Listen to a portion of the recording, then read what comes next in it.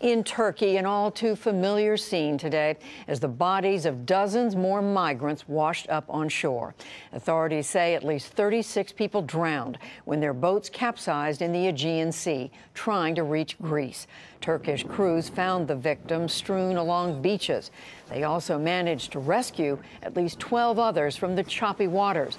But a mass migration agency said the danger has not deterred people. Migrants and refugees continue to enter Greece at a rate of over 2,500 a day from Turkey, uh, which is very close to the average through December. So we see the migrant flows are continuing through the winter, and obviously the, the fatalities are continuing as well. Last year, nearly 3,800 migrants died trying to reach Europe by sea.